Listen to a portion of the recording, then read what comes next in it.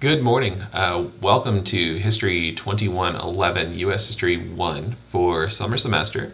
I am Mr. Kennedy, and this video is just going to be a little introduction to what to expect, and I want to show you what Blackboard looks like and what you're going to be doing. So you should be able to see this is our Blackboard class here. And on the left-hand side, you'll see home page, announcement, student center, syllabus calendar, so on and so on. So this is where our class is going to live. And I want to start by showing you the lessons folders so you have an idea of where all your work is going to exist. And then we'll move into the syllabus so you can see what the expectations are. If you click lessons, it might look a little different, but you should see mostly the same things. Um, within lessons, you're going to see a lot of different folders. Uh, the first one that I really want you to pay attention to is this one here that says the American Yawp Open U.S. History Textbook. This is the textbook for the course. And it is a free textbook. You don't have to pay for anything. And if you click this link, it opens up a very textbook looking textbook. And each one of these links is a clickable chapter for you. Next thing I want you to see, reflection paper drop boxes. Uh, there are three assignments known as reflection papers that you will turn in right here. Now I know the word paper usually is a scary thing, but I guarantee you these are not scary. These are small, they're a page and a half to two pages long. They are opinion based papers and they're going to be over some of the readings that you're going to be asked to do this semester. So don't worry, they're not going to be difficult. They're not high stress. But within this right here, you will see your different drop boxes open and close. Right now, you only have one drop box open, that is reflection paper one, and that's simply so you don't accidentally turn in your assignment to the wrong place.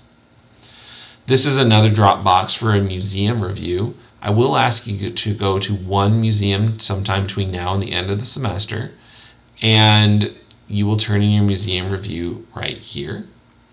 And then each week we have a folder week one, week two, week three. This is week one. So within week one, you have two different lesson folders. And within the lesson folder, you find a chapter of the book. This leads specifically to chapter one.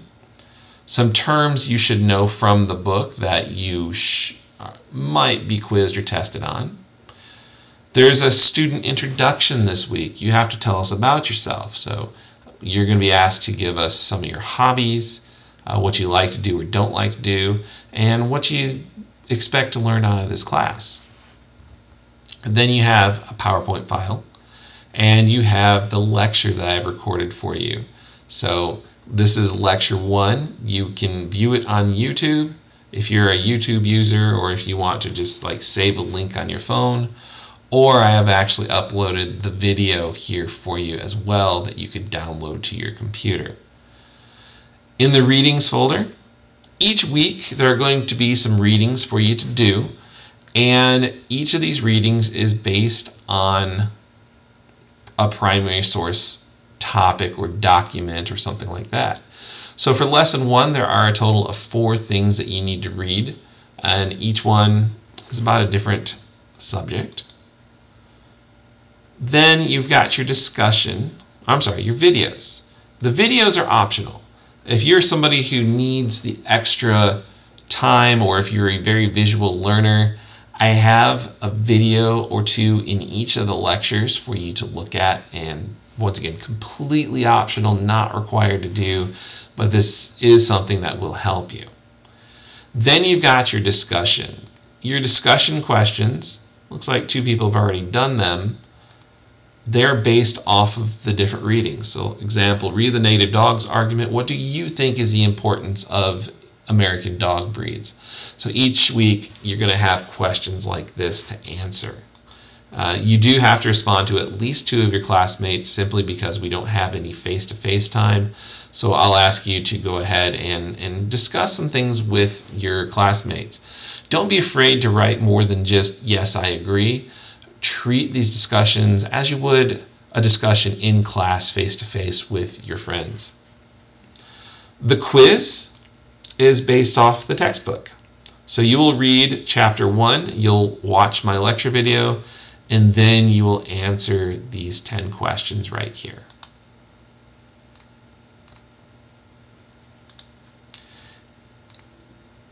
Each week is going to be set up the same. I'll just show you the lesson 2 folder as an example. So here at lessons 2, you've got the American Yawp, the chapter of the book. You have the terms out of the book to know. You've got a copy of the PowerPoint I used in my lecture. You've got my actual lecture right here. There's the YouTube link, and then here you can watch it as well. A couple of readings. There are two of them for week two, or for lesson two during week one. Videos you can watch if you choose. And then discussion and a quiz. All right, syllabus. Your course schedule is available right here. So this is everything we're going to be doing this year, or this semester, I should say. So week one started yesterday, the 24th, and it goes until Monday, I'm sorry, Tuesday, the 30th. And all of your work for chapters 1 and 2 needs to be done by 11:59 p.m. on May 30th. I give you a full 7 days to do your work. So your work opens at 12 a.m. on the 30th. It closes 11:59 p.m. on the 30th. I do an entire week of of work for you like that. Also, here you can see what the topics are and it says video will be recorded. Um, I'm going to record videos at 1 or 1.30 p.m. every Wednesday. And if you're somebody who would like to join for that, just send me an email. I'll send you a link to my, my WebEx room and you can watch me do these videos and you might even get a little extra credit for joining. So just keep that in mind. Um, it's not required, but if you do join, I will reward you with a little extra credit. Then in the assignments, you've got all the different work you have to do. So for this week, you've got two discussions, two quizzes. Next week, two discussions, two quizzes. Week three, two discussions, two quizzes, and then one of those reflection papers. So I have it pretty well spelled out. And yes, it is two lessons per week, and that's simply because it's a summer course and we have to do double the work. Now, for the syllabus, um, show you a couple of things here. First of all, my contact information. Uh, this is a completely online class, but I do have an office at the Carrollton campus. Uh, if you would like to come to the Carrollton campus and see me, you're welcome to. I welcome visitors all the time. Um, you can call me. I do have a phone. Um, or, you know, we can do email, Blackboard message, or we can do a WebEx meeting too. So lots of different ways that you can reach me. Um, ultimately, I'm here for you. So whatever you need from me that's within reason, I can help you with. My specific office hours, um, the office number is 207N, the new Carroll campus on the second floor. Um, I'm here most of the time, but the dedicated office hours I have are Tuesday 9 a.m. to 11:30 or Thursday 1:30 p.m. to 3 p.m. Am I available during other times? Absolutely. But those are times that are specifically dedicated. But let's face it, if you need to get a hold of me or if you need to come by, I'll let you in or I'll call you or talk to you, whatever it is. So don't worry about that being specific. What are we covering? Uh, we are covering U.S. history all the way up until the Reconstruction period. So we'll be looking at colonization, the development of the British colonies, the American Revolution, the War of 1812, how U.S. relations developed between North and South. Here's a textbook. Here's another way to get to it. So you've got several different ways to get a textbook. Um, other things here. Plagiarism. Let me talk about that for a second. Don't cheat. Uh, we as instructors and professors know if you're cheating. We have ways to find it out. We have tools that are at our um, disposal. Do your own work. I promise you, and you can hold me to this, if you do your own work and it is the worst work I've ever seen, you will get a better grade than somebody who turns in something that's perfect and plagiarized. Uh, the object of this class is not to make you learn dates, but to teach you to, to think critically. Can you put things together? Can you understand how A leads to B? Uh, can you give an opinion on a topic maybe that you're not that interested in? Um, so there's no need to plagiarize in this class. I promise. My grading is not difficult. My my um, assignments, of course, I made them, but I don't think they're difficult. But just please, I beg you, do your own work. There's how the grades are done. You can see a midterm exam, a final exam, three reflection papers, museum review, activities and participation. Those are going to be your quizzes and any extras we may do. And then the discussion board is going to be, you know, you having discussions in Blackboard with your classmates. Now, speaking of exams, two exams, they are not cumulative. That means that the first half of the class is the first test. The second half of the class is the second test.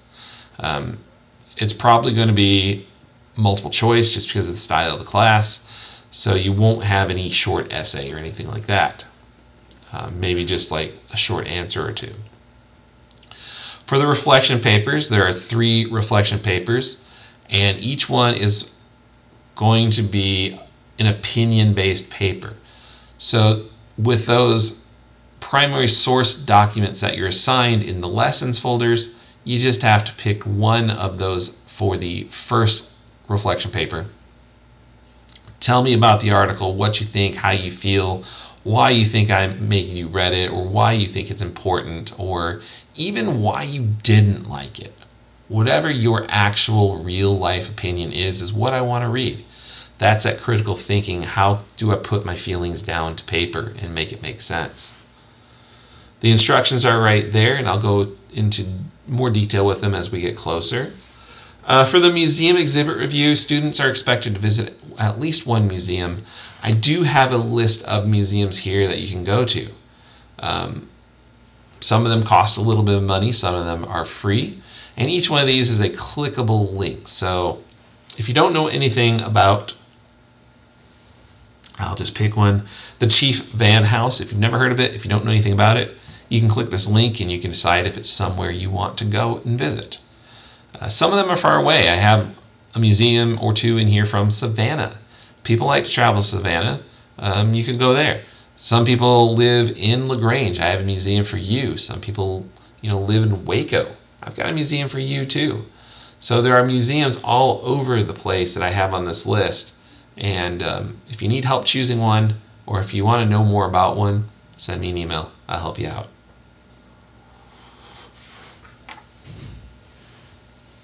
Activities and participation. Um, your quizzes that you have to do each week go into here. Um, if I have an extra credit thing, I'll put that here. If you, um, you know, basically it's a catch-all. You know, any any of the activities that we may do will go into there, with one exception, and that's the discussion boards.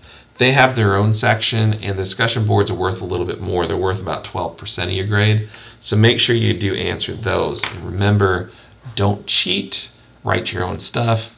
Uh, don't plagiarize and make sure you respond to classmates if it asks you to. Finally, extra credit. If you're somebody who likes extra credit, it's real simple for me. You just do an extra museum review and you submit the extra museum review to me. You get two points on your on your final grade. So um, I think that's pretty generous there myself. So, um, yeah, this was just a real short introduction. Um, I just expect you and hope that you do your work each week, do your own work each week, and learn something. And you know, if you need help with anything, send me an email. I'm glad to help you. Um, I'm here to, to teach you, not just grade papers. So, you know, reach out whenever you want to, and I'll be glad glad to help. All right, that's it. I will see you later, and um, I hope you enjoy the lecture videos. Bye bye.